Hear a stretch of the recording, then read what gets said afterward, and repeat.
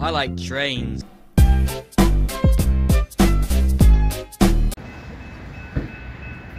All right, we got a westbound.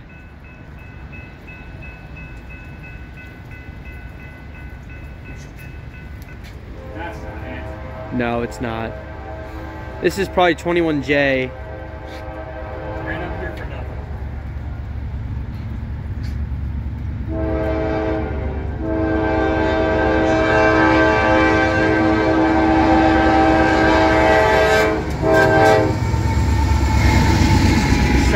Rebuild though.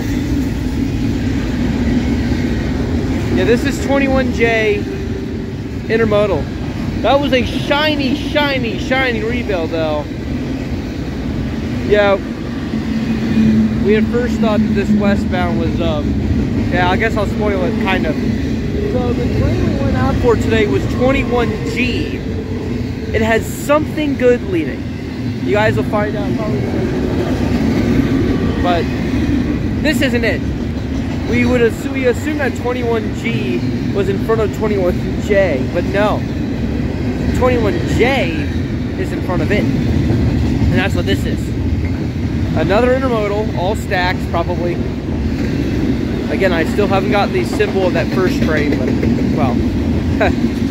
I mean, I have by the time it was posted. Why not even say that? But, yep, this is um, 21J westbound intermodal.